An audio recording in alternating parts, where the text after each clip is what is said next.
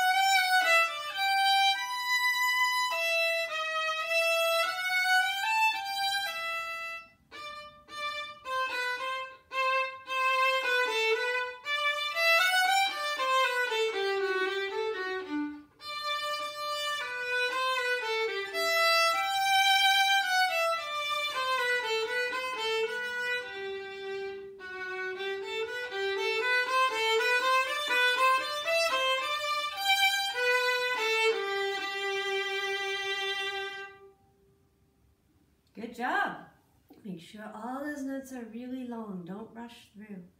Our next song is The Two Grenadiers by Robert Schumann. So this is about two French soldiers and it has the French national anthem in it. So we need to sound like we're marching. See if you can make up a story in your head while we play this about two French soldiers and what they're doing in the story. Tall violin. Great bow hold. Fly to E, tip to A, ready to start up bow. Could you bring your elbow? Ready?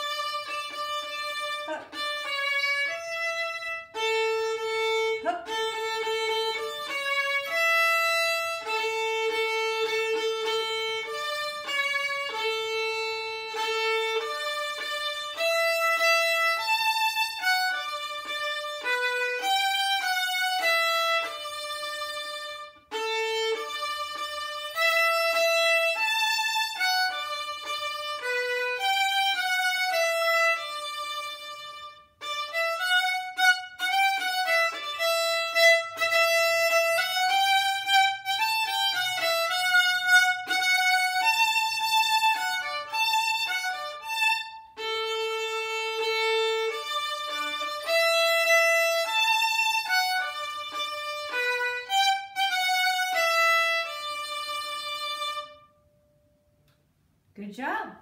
Did you remember your hooked bows? If you forgot, you should probably rewind and do it again with me. So next we have Theme from Witch's Dance by Paganini. This one has lots of hooked bows and triplets and circle bows. And don't forget the minor part where we have to adjust our first finger from F sharp to F natural and back again. And of course the coda has that double down bow before we start the scale. Ready? Tall violin. Check your bow hold. Fly to the E string, nice tall one. Ready?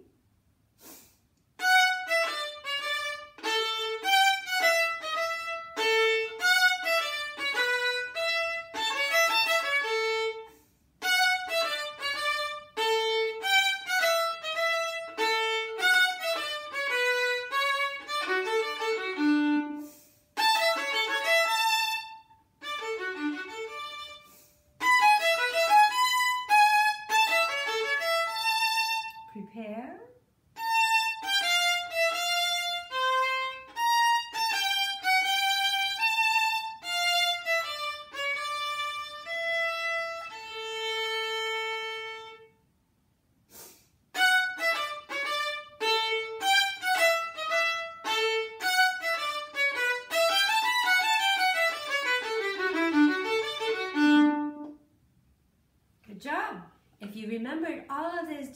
Maybe you want to go back and do it again with the dance. Now we have Gavotte from Mignon by Thomas, and this is a dance from his ballet that was called Mignon. So while you're playing this, see if you can imagine ballet dancers and what they might be dancing to this piece. Think about the B part and the C part where the potatoes are and say the words in your head when we get there. And remember, we can't start too fast. Tall violin. Find your bow hold. Fly to E. Tip to A. Bring your elbow. Make sure you're in the middle of the bow, ready to, to use teeny tiny staccato bows.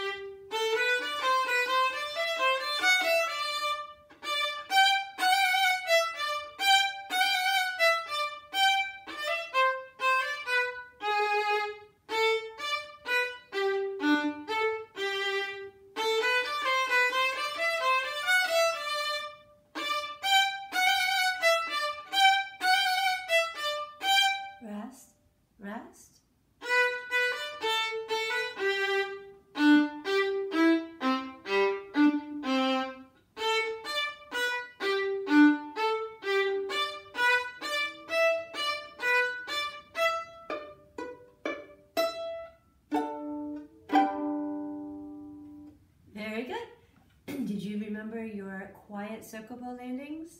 How about the lifts in the C part? If you forgot those things, please rewind and do it again.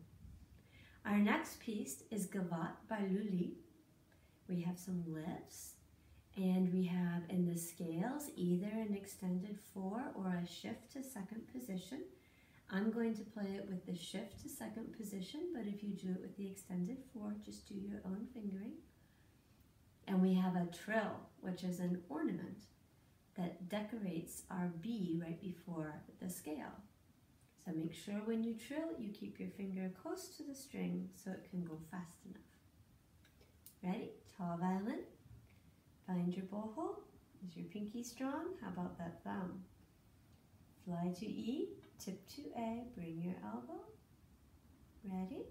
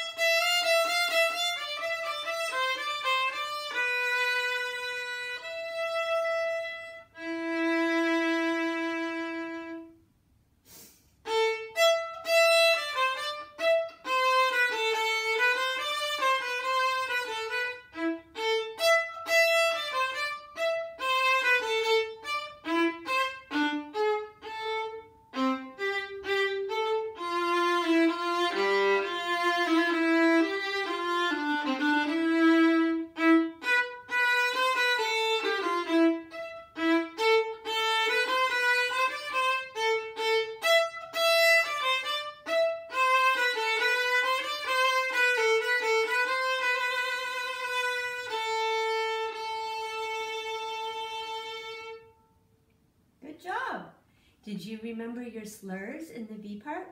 Was your scale nice and clean? If you had trouble with either, please go back and play it again, and again, and again, and again. So now we have two minuets.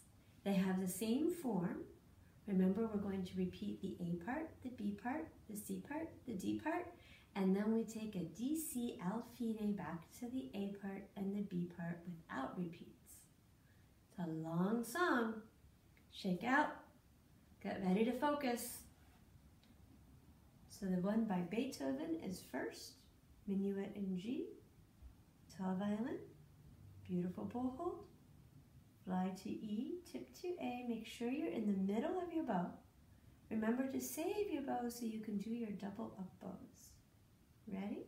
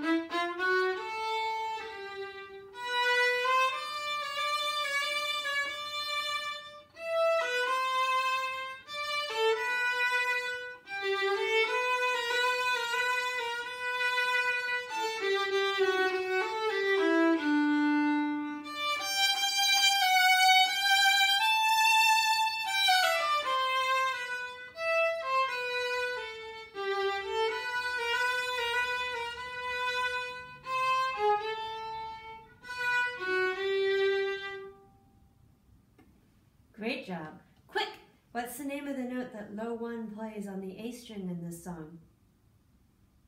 If you said A sharp, you are right. We do call it B flat sometimes, but if you look in the music, you'll see it's written as an A sharp. Make sure you remember to play that. Our last song is another minuet by Boccherini. This one is very famous, and it's from a string quartet that he wrote. So just like the other minuet, we're going to play two A's, two B's, two C's, two D's, and then take the D, C al fine to A and B again. Make sure not to start too fast. Solid violin. Beautiful bow holds. Chuck that pinky and that thumb. Fly to E. Give yourself a nice big bow for the opening up bow. Ready?